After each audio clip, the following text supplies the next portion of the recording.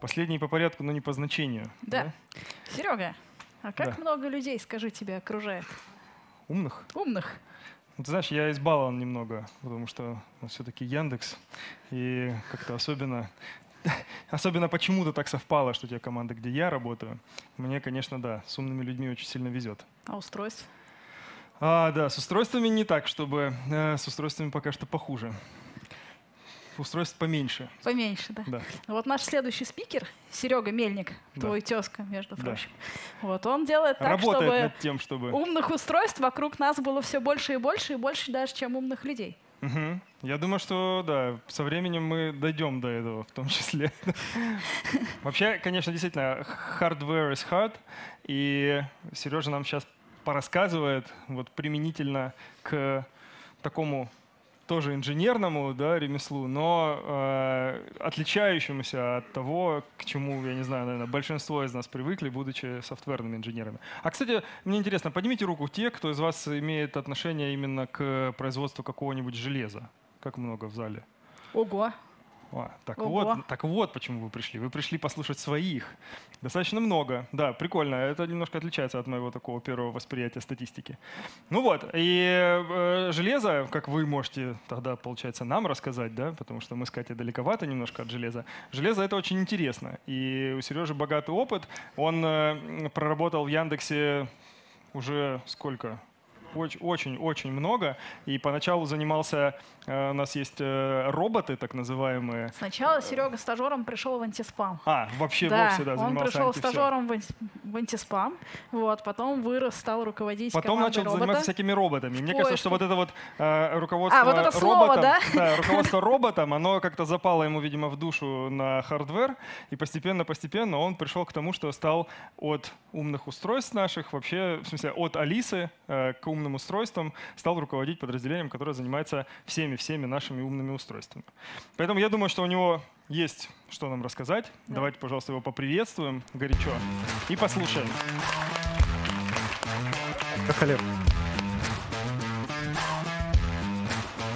Чё? Всем привет. Меня зовут Сергей Мельник. Я руководитель команды Алисы умных устройств компании Яндекс.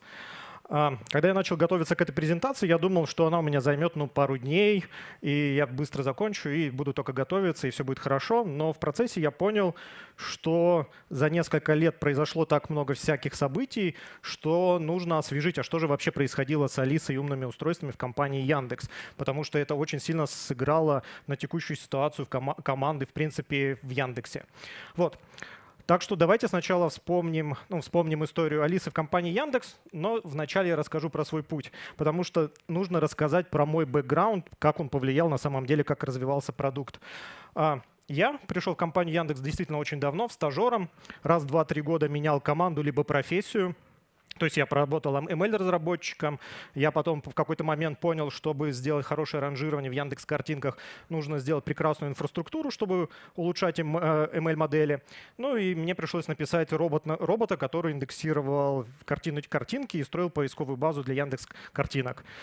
А, После этого меня позвали опять же в поиск, сделать аналогичную систему для основного сервиса Яндекса, где я ее сделал за, примерно за год. И эта система, в принципе, до сих пор работает. Она индексирует, обходит весь поиск, индексирует все документы, выкладывает это э, для пользователей наших. Вот.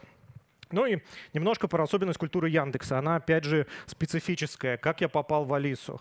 На самом деле у меня был завтрак, я сидел, никого не трогал. Пробегает Михаил Парахин, сетевой Яндекса, и говорит, Серега, я придумал тебе классную задачу. Я такой, что опять? И он убежал. Через некоторое время я узнал, что меня, мне дали еще в нагрузку к роботу команду инфраструктуры Алисы. Мне надо было это все поправить, чтобы Алиса скейлила, сработала и позволяла хорошо э, интегрировать новые сценарии. Вот. А Через год, в 2019 году, опять же, примерно такая же ситуация была. Проходил мимо, мне сказали, ты еще будешь за устройство отвечать компании Яндекс. Я такой, ну, прикольно. И вот так я попал э, в команду Алисы и в команду устройств. Вот. А теперь вспомним, как же развивалась Алиса. В действительности Алиса — это стартап внутри компании Яндекс. То есть он, его идея о таком продукте возникла еще где-то в 2015 году, и на свет он появился буквально два, ну, через, только через два года, в октябре 2017 года. А через год уже вышли Яндекс-станции. При этом у этого продукта был еди, единый заказчик. Ну, у двух продуктов, у Алисы и у станции, и э, по совместительству еще и продукт оунер Михаил Парахин. Вот. Этот продукт Алису делали на самом деле в следующем ключе – что все боялись, что это рано или поздно станет убийцей поиска. То есть придумают такой, из Алисы вырастет такой продукт, который заменит поисковый сценарий, привычный для человека. А устройства нужны были как раз для дистрибуции, по сути, Алисы в дома людей. И это была больше защитная стратегия внутри компании Яндекс, а то, чтобы Google придет, если со своими колонками, то нам будет плохо. Вот. А в 2019 году Михаил ушел, и инвестиции в продукт были по инерции вкладывались, то есть а, пробовали разные продуктовые гипотезы с Алисой, а, но, к сожалению, ничего не получалось. И в какой-то момент, э, видимо, произошла усталость некоторая внутри компании, и немножко сократили инвестиции. Имеется в виду, что в Яндексе часто практикуют формат V-тимов, когда много-много людей из разных команд приходят и пытаются что-то с продуктом сделать. А, вот эти инвестиции в какой-то момент закончились, поняли, что очень сложно развивать этот продукт, он специфичный. А, и даже в какой-то момент в 2020 году обсуждали возможность удаления Алисы из основного приложения Яндекса. А, вот. а в конце 2020 года ушел второй стейкхолдер, и вот меня назначили руководителем а, команды Алисы умных устройств. И вот примерно, если кратко, то в начале, в конце 2020 года у нас примерно была команда всего лишь 100 человек.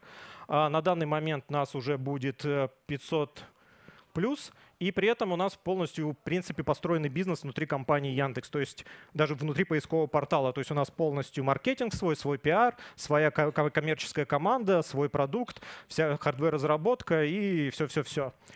Упс, извините. Но при этом у нас 2020 год начался очень за... э, конец, начался, конец 2020 года начался очень забавно. Нам поставили задачу максимально абстрактно найти свое предназначение внутри компании Яндекс. А... То чего? Не может быть! Запиши себе название, чтобы в спешке не забыть. А не выполнишь к утру. Хорошо тебя сотру. А, порошок нас никто обещать, не, ну, стереть никто не собирался, но а, нас, на действительности с нашим продуктом не понимали, что делать внутри компании Яндекс. И нам на самом деле предложили, ну, нам предложили ответить на три гипотезы, которые типа всегда звучали. Это, по сути, Яндекс станции является некоторым мультимедиа-центром. Это продукт для удержания пользователей внутри экосистемы, или это Алиса устройство, это тот самый новый поиск, в который долгое время верили внутри компании. Вот, ну мы действительно ответили на третий вопрос. То есть мультимедиа-центр, да, станция, прекрасный мультимедиа-центр. По итогу 2021 года мы стали основным аудиоустройством в стране, то есть мы по продажам в юнитах обогнали даже JBL. А, и вот для тоже по итогу 2022 года а, 75% всех э, колонок, которые продаются, акустических систем, которые продаются а, в России, они так или иначе с интегрированным ассистентом. То есть обычные глупые колонки вымирают и все заменяются ум, умными. А, действительно, железки являются, ну, помогают удержать пользователей внутри экосистемы, но насколько никто ответить не может. Это сложный вопрос. А является ли Алиса и устройство новым поиском? Ну, внутри команды мы верим, что да, но при этом так, как таковой продукт еще такой не случился, мы верим, что он рано или поздно наступит. И тоже забавный факт, сейчас количество запросов, которые прилетает в Алису, уже ну, в пике до 150 миллионов в день, что достаточно много. А, в действительности мы поняли, что в компании не понимают, а в чем бизнес. То есть пока нет понимания понятной бизнес-стратегии, то никто не готов в нас инвестировать деньги. И э, мы лишь тогда поняли, что нужно просто ответить на вопрос, а в чем же наш бизнес? Как мы можем быть полезны внутри компании? А какой продукт мы на самом деле знали, какой строим? Вот он хорошо описан вот в этой книжке. Есть э, детская книжечка «Островитянка», и там есть такой есть такой, такая глава про великого инка. И вот если кому интересно, можно почитать и поймете, что же мы все-таки строим. А, к сожалению, на этот вопрос в компании Яндекс тоже не знал э, никто ответ. А в чем же наша бизнес-модель? Что, какая у нас может быть условно монетизация? И к сожалению, подсмотреть наружу тоже это было нельзя, потому что продукты существовали, были Google ассистенты, а, были а, Alexa, Siri, в Китае тоже пачка этих ассистентов существует, но у всех, у всех у них своя бизнес-модель по факту. То есть если Alexa преследовала, например, цель помочь э, Амазону э, войти своим e-com ом в каждые дома людей. Siri — это на самом деле их колонки, это по сути upsell к их телефону. Google просто, кажется, повторял за всеми, чтобы не упустить возможность остаться на рынке. Вот. И главная проблема у нас была то, что по факту в конце 2020 года у нас не осталось ни одного человека уровня C-level, то есть не было ни маркетологов, ни про, команды продукта. А, очень все было ни финансистов, ни операционщиков. Все надо было начинать сначала. Вот.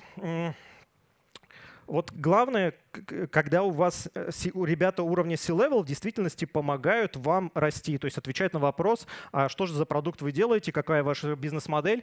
И когда на старте у тебя такого человека не существует, очень рекомендую воспользоваться внешними консультантами. Внешний консультант — найти человека, у которого был опыт создания хардверных продуктов, который может вас направить, а что же все-таки тебе требуется сделать. Базовую вещь, которую он мне сказал, на самом деле, требуется стратегия, команда и мотивация. То есть мы с ним вместе определяли, какую стратегию, мы строили вместе с ним стратегию, а, и с помощью команды HR и Executive Search проходил найм команды полностью с нуля. А. Это некоторый таймлайн развития нашей команды. То есть э, проблемы внутри начались еще в начале 2019 года. Активно хантили команду, и за э, половину 2019 года нам пришлось фактически пересобрать всю команду с нуля. И мы в, в октябре 2019 года выпустили нашу ну, там, второй продукт внутри компании, это станция Mini-1. При этом процессы разработки у нас были поставлены следующим образом. То есть у нас команда была очень небольшая. То есть там команда hardware буквально 15 человек. Это вместе электронщики, системщики. И мы периодически десантировались э, в Китай, где вместе с фабриками э, э, ну, доделывали наш продукт, тестировали его и запускали конвейер.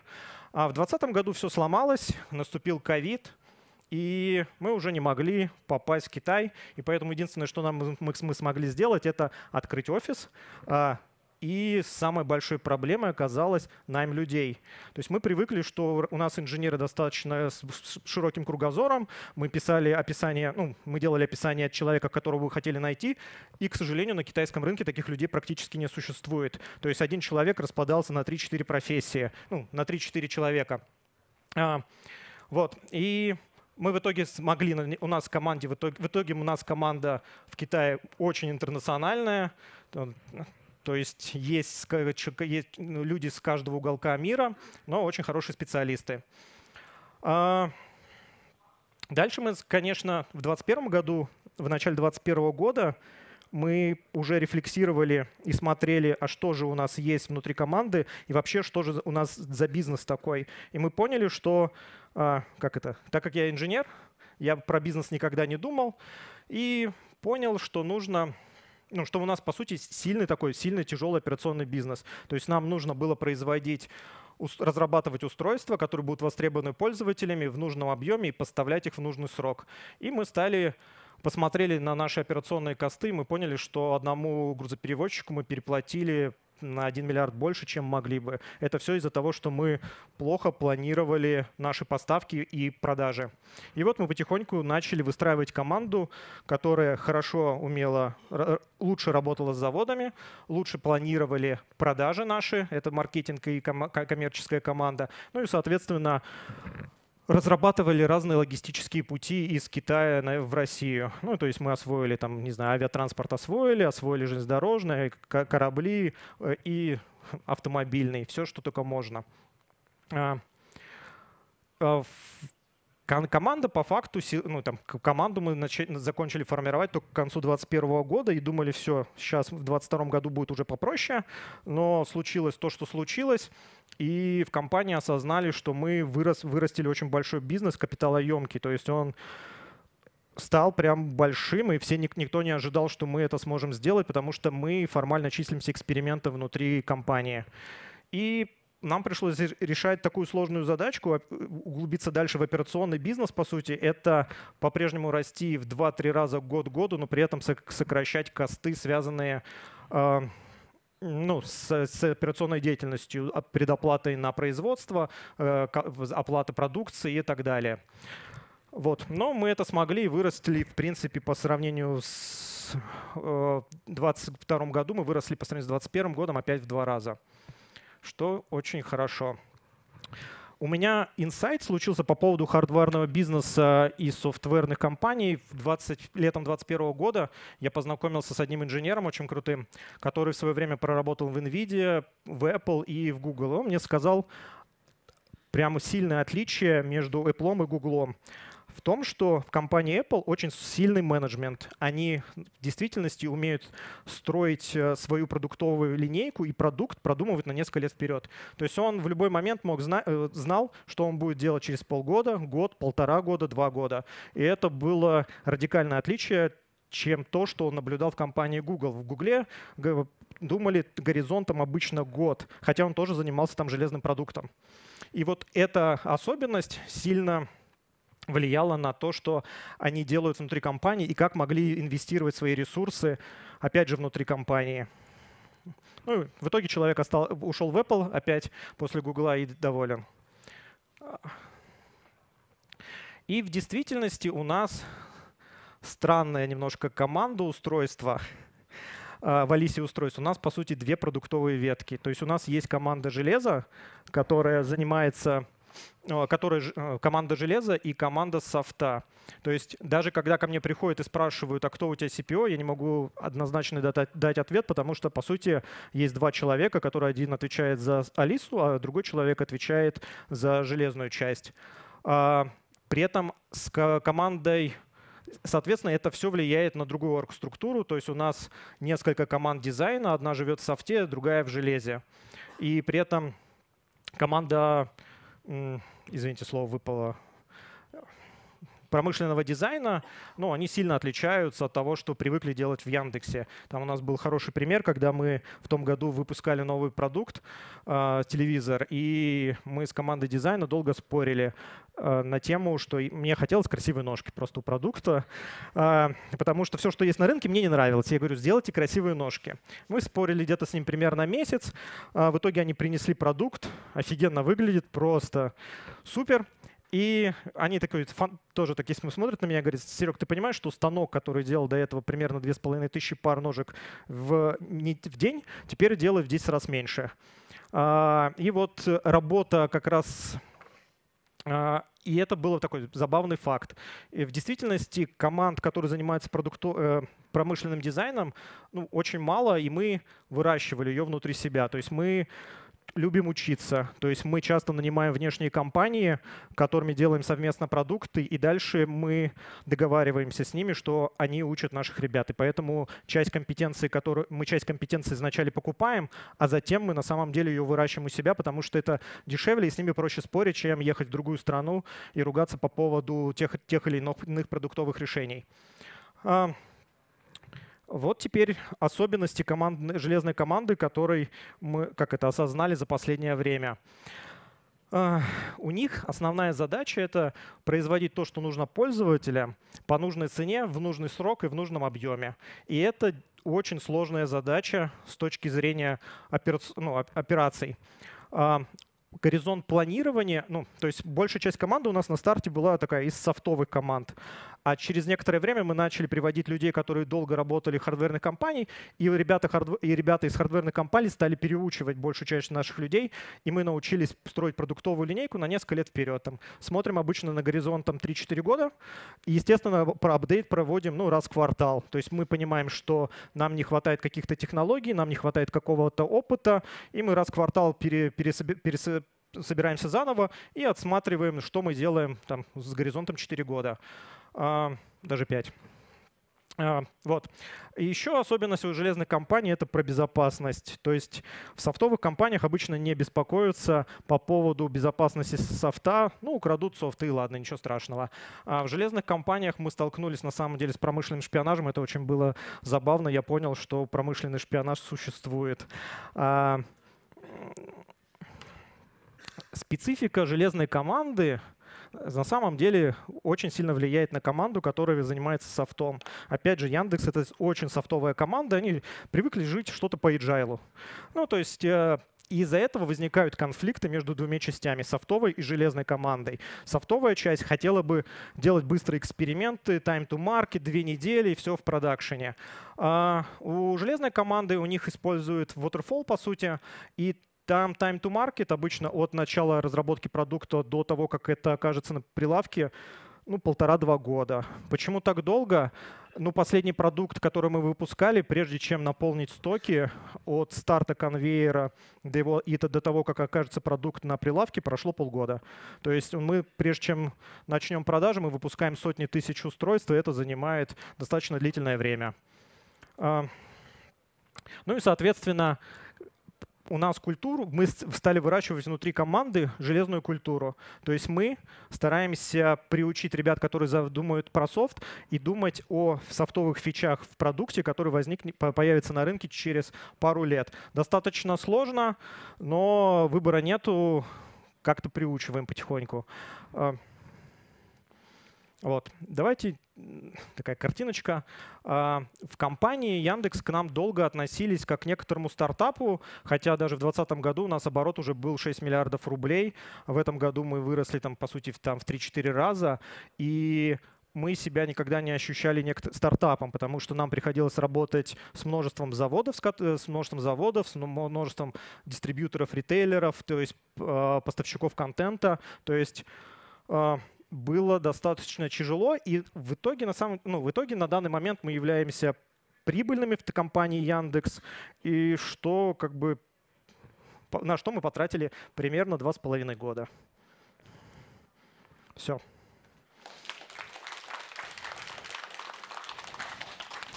Спасибо большое. Мне кажется, очень ценный опыт и Явно, Надеюсь. явно ты можешь поделиться еще в ответах на вопросы крупицами этого опыта. Давайте э, начнем, да, начнем задавать наши вопросы. Я еще попрошу показать наш QR-код для того, чтобы я мог сформулировать вопрос для вас, для зрителей, для слушателей. Вот там. Да, Сергей, привет. Меня Ваня зовут. А, у меня вопрос. Сначала, я хотел сначала сказать, так сказать, э, спасибо за Алису, потому что и подтвердить гипотезу. У тебя была третья гипотеза, гипотеза про поиск, про третий формат поиска. Я просто хотел сказать, что ваш пользователь еще не вырос, потому что мои дети уже точно не ходят в Яндекс по старинке, они идут в Алису и спрашивают у нее, почему небо голубое или почему машины ездят. Просто вам нужно немножко подождать. А вопрос э, примерно следующий. Amazon недавно опубликовали пару месяцев назад статью о том, что Alexa у них мега убыточная, там что-то вообще какие-то, они там потратили уже там, по-моему, 10 миллиардов долларов и неприбыльная и так далее. А ты в последний момент сказал, что вы прибыльные э, уже, уже сейчас, то есть вот за, там, получается, за три года, э, или, ну, пять лет. За, за пять лет, да, ну, там, просто с момента, как э, ты про Алису. Вот, а вопрос, э, отсюда два вопроса. А, можешь сказать, основной, э, что составляет блок, это продажа колонок или подписки, и если, если, это, если это не секрет, да, и а, на, насколько прибыльность, ну, то есть, там, я имею в виду... Цифры. Ну, да, да, да, какие-то... Маржинальность. Да. Ладно, давай попробую ответить. Про, возьму немножко про команду Alexa рассказать. В действительности Alexa большая, то есть у них 15 тысяч человек, но нужно понимать, что они занимаются не только и в действительности у них под капотом в бюджете спрятаны несколько крупных проектов. Это проект Койпер, который аналог Starlink, у них без команды беспилотников там спрятано, и еще несколько крупных проектов. Поэтому что внутри у них как между подразделениями разбито, неизвестно. А дальше, опять же, нужно понимать, про прибыльность и убыточность с точки зрения у каждой команды своя, у каждой компании своя цель, для зачем они разрабатывают железо. То есть для команды Amazon, компания Amazon вначале это был способ привлечения аудитории в свой marketplace. То есть они сделали крутой продукт, который привлекал им аудиторию. А, это было условно первые два года, а потом они отправили ее в свободное плавание. То есть цель они, у них изначально была другая, Э, в Яндексе такую цель не преследовали, то есть тут просто сказали, типа, постройте какую-то бизнес-модель, которая будет интересна компании Яндекс. И мы пошли по другому пути. Вот. Ну, ответил, надеюсь. Да. А про цифры? Нет, цифры говорить не буду. Окей. Спаси- Спасибо. Привет, Сергей. Спасибо за выступление. Интересно было узнать, что Алиса из себя внутри представляет.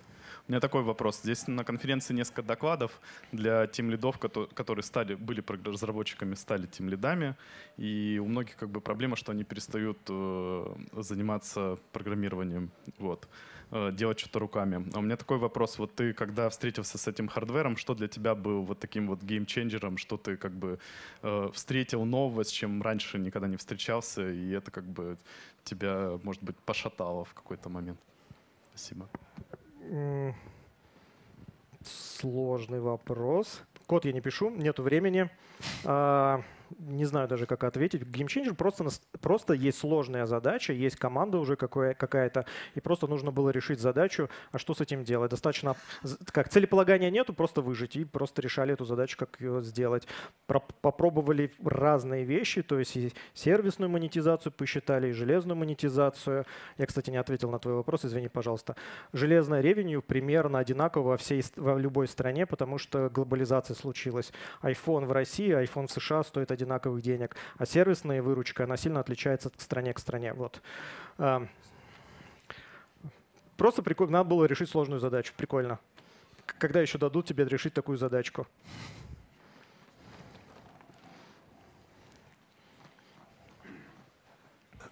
Да, добрый день, меня зовут Олег, спасибо за доклад, очень интересно. А, У меня два вопроса, если позволишь. А, Значит, первый э, э, про железную команду. А, Насколько уникально то железо, которое там находится? То есть это какое-то BSP взято почти без изменений или это ну, как бы собственная разработка там, ну, детально, собственно, я имею в виду. И второй вопрос э, уже более ближе к тем лидам. насколько ты погружен... Ну, понятно, что в процессе разработки ты, наверное, погружен, а насколько ты погружаешься вот э, в операционные всякие дела, э, связанные с деньгами, там, с бюджетами и всем прочим. Спасибо.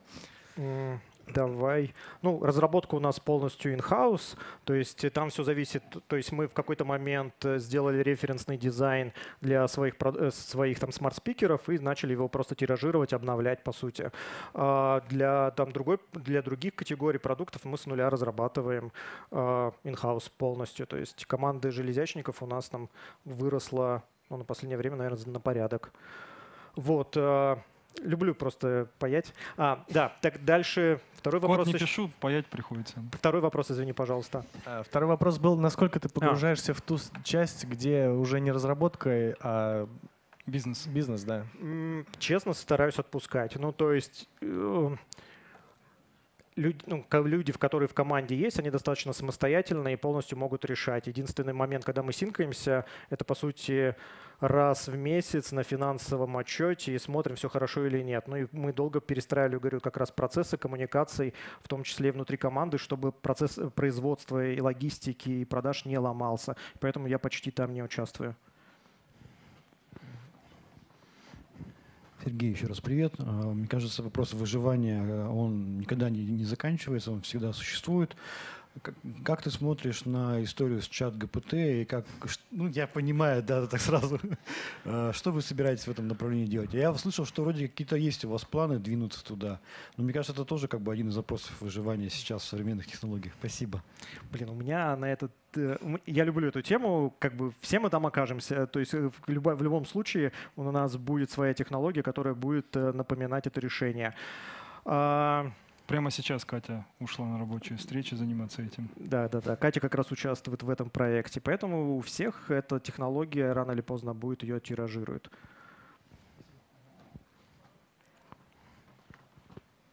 Привет, спасибо за доклад. Я, может быть, немножко там не дослушал. Ты говорил о том, что есть вот проверить три гипотезы. Это Мгм. мультимедиа, новый поиск и там посередине что-то было. А все-таки эти вот результат гипотез какой? То есть вы все-таки, Алиса, это что? То есть и бизнес-модель на чем? Все-таки на, сервис, на сервисах? То есть вот вы там железо подешевле продаете, но чтобы там больше сервисами пользоваться. Можешь, вот, может быть, чуть немножко про бизнес, что ли, подробнее? А, Я вот, знаете, это нам, е- простите, в, инс- в Инстаграме есть часто показывают такие, знаете, э, всякие финансовые отчеты а, разных компаний. Можно просто по- поли- полистать, так и понаблюдать. У тебя есть там условные Apple, Google, Amazon, либо другая любая компания, где разбирают бизнес-модель. Bloomberg часто это пу- пу- публикует. Очень наглядно. И, нас, и для нас идеалом является компания Apple. Ну, то есть э, в любом случае зарабатывать в первую очередь на железах, и у тебя это будет, скорее всего, порядка 80% выручки. А сервисы тебе нужны, это как upsell для твоей пользовательской базы, где у тебя более маржинальные сервисы, но типа revenue у тебя все равно будет миним, меньше половины всегда. А можешь еще рассказать вот как раз э, там, э, ну, есть вот, собственно, колонки Алиса, да, есть вот э, Яндекс ТВ или как-то у вас проект Мгм. называется. Он же связан, получается, с, ты вроде упоминал, что с Алисой. Насколько он проект Яндекс ТВ связан с ним и насколько вы на него большие надежды? А, он ко мне прилетел случайно в 2020 году. Так, и что с ним? Будем развивать, будем развивать, все будет хорошо. Будет топовый продукт. Когда? Фидбэк можешь ждать попозже. Не, а, ну давай про Яндекс ТВ расскажу немножко. А, То есть этот продукт, опять же, развивался как альтернатива условному андроиду для телевизоров, потому что Android Google в какой-то момент начал закручивать гайки на рынке, и всем, ам, э, ну, то есть дос- доступ до оболочки было сложно получить. Это, по сути, попытка как раз сервисной монетизации продукта. Но мы понимаем, что сервисы в России стоят очень дешево, и поэтому мы пошли в железную категорию, потому что и продукт хотели сделать лучше. Ну, то есть, сейчас я тебе объясню. Хардверные компании не готовы рисковать своим устойчивым бизнесом. Условно, у тебя есть компания Samsung, она привыкла делать телевизоры, и она не будет инвестировать у тебя и в инновации. Почему? Ну, потому что это же чисто железный бизнес, им не интересно пробовать э, экспериментировать с продуктом. И мы на самом деле зашли сначала в софт, и потом осознали, что все эти компании не готовы экспериментировать с железом, они привыкли его делать стандартным. И вот как раз мы занимаемся тем, что сейчас экспериментируем с железом под наш софтовый продукт. Ну, вот так вот. А еще извини, э, просто я вроде как помню, что Яндекс э, телевизор начинался тоже с приставки, ну типа как Apple TV там, и вроде и сейчас уже это просто телевизор полноценный. Или я А, что-то не да, так помню? да. Ладно. Спасибо. В общем, будем ждать новостей. Приветствую, Сергей, меня зовут Илья. Спасибо за доклад. Я вот так, наверное, немножко злобно, но хочу вот пройти пару вопросов про историю Алисы как таковой. Мгм. То есть помню первую Алису, реклама, классный звук, помощник, HDMI для того, чтобы посмотреть телек, но при этом жутко противный звук. Мгм. Это вопрос как раз к РНДшникам. Потом Макс, в котором мы исправляем проблему со звуком, ну вы в смысле. А, и окей, HDMI возвращаем. Потом появляется Алиса вторая, где Мгм. выкидывается HDMI. Ну, скорее всего, поражением финансовых определенных. Но как это вот именно тебе, как лиду, пришлось с хардварной командой обсуждать, потому что для них это же была классно. Они сделали классную колонку, которой нет как такой конкурентов с таким функционалом, с HDMI и прочим. Но при этом говорят вам, ребят, ну, ну, выкидываем эту штуку. Провокационный вопрос задаю. Да, я знаю. А у меня есть опция отка- отказаться от ответа? Как всегда есть.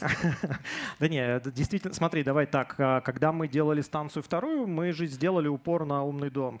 То есть мы осознанно выбросили HDMI, потому что продукт на тот момент, ТВ-продукт, станцию, когда мы начали делать вторую станцию, у нас не было ТВ-продукта, которым мы бы гордились объективно говоря. Мы его только развивали. И это было осознанное решение, чтобы пойти в категорию умного дома сильнее. То есть добавить Zigbee, будет попозже поддержка Matter, и локальные все сценарии тоже доедут. То есть это осознанное решение было внутри продукта. Но при этом тогда, возможно, будет следующий Макс, в котором будет и то, и другое, да? Конечно. Все может быть. Спасибо. Давайте, пока микрофон передается, э, вопросы я свой задам. Мы там поднимали руки про кто здесь участвует в разработке железа, а кто не участвует. Можно переключить вопрос? Вот сейчас, послушав Сережу, вы, если бы вам предоставился бы выбор, что бы выбрали? Заниматься hardware ом или все-таки software ом? Может быть, наоборот, кто-то из hardware а послушал, прослезился и решил переквалифицироваться в software. Или, или же Сережа, э, как это, душещипательно рассказал, и теперь software -инженерам интересно было бы заниматься hardware ом. Да, давайте посмотрим. 50 на 50. Да, задавай вопрос. Да, спас- спасибо большое за доклад. У меня на самом деле вопрос около такой бизнесовый. А, был слайд с логистикой, где вы потратили определенную сумму, да, чтобы оптимизировать весь этот процесс. Вопрос такой: а вы рассматривали возможность э, сборки Яндекс станции именно на территории Российской Федерации? А, если да, то в чем проблемы, что не приступили там ну, какой-то завод условно в Калуге, где можно было бы собирать эти устройства? И второй вопрос, ну лучше, да, ответить на первый, я задам сразу второй.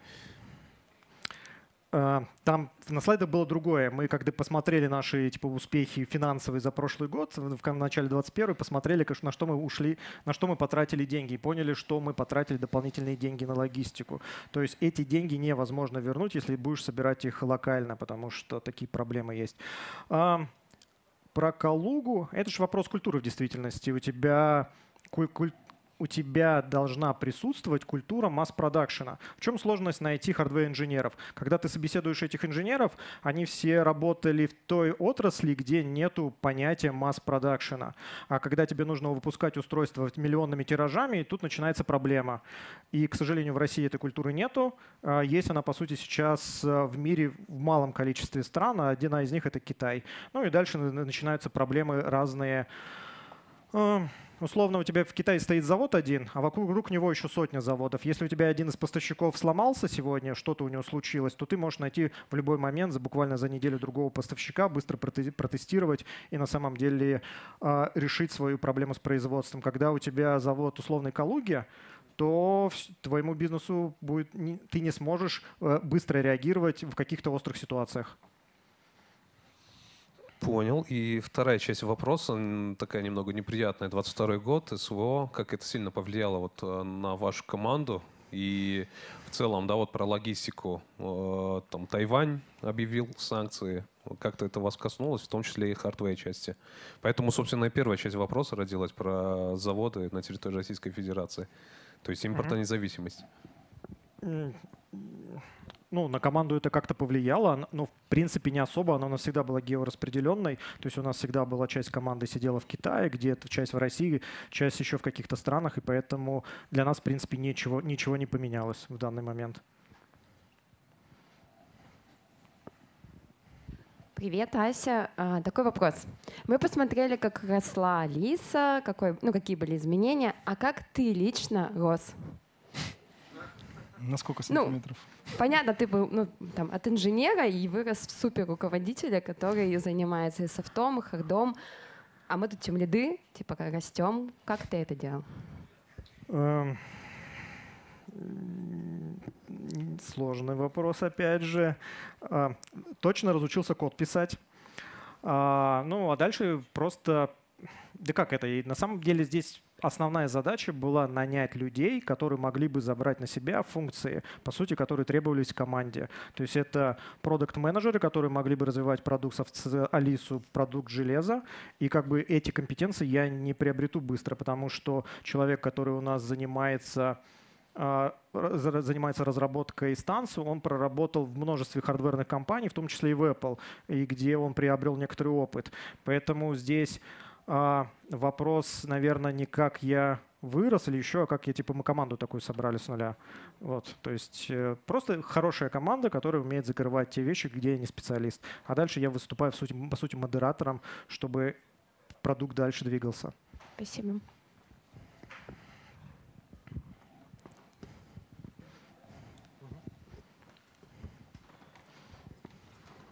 Сергей, спасибо за заклад еще раз. А вот вы сказали, что в 2020 году были проблемы с, с доступом в Китай, и что вы нанимали там специалистов. Были ли у вас какие-то попытки сделать полностью удаленные стенды для разработчиков из России, чтобы поменьше нанимать людей там и побольше использовать тут? М, Давай, у нас часть команды, которая отвечает за производство в Китае, она в России находится. То есть у нас э, стоят стенды в офисе, которые полностью повторяют один в один те, те же самые стенды, которые они, у нас стоят в Китае. И вот так и работали. То есть часть, к- ча- большая часть команды в действительности осталась в России, которая обслуживала заводы. Это то есть удаленная работа такая часть. И еще вопрос. А можете вспомнить какой-нибудь э, косяк железа, который исправляли прошивкой?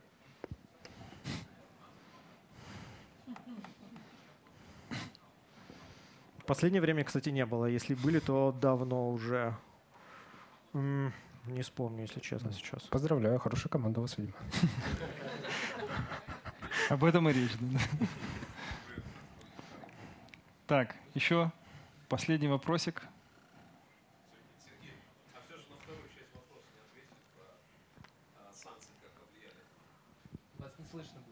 Да. Повтори вопрос. Как санкции повлияли на нас? В 22-23 году, то есть в отношении Яндекса там э, были приняты санкции, и как это сильно повлияло именно на hardware часть? То есть как компоненты, я уверен, Вообще что некоторые... Никаких санкций в отношении Яндекса принято не было. Не было? Не было. А, тогда прошу прощения. То есть э, с hardware никаких проблем нету, да? Все, отлично. Ну и Желаю- как бы Китай. Так, выбирай лучший вопрос. Еще один?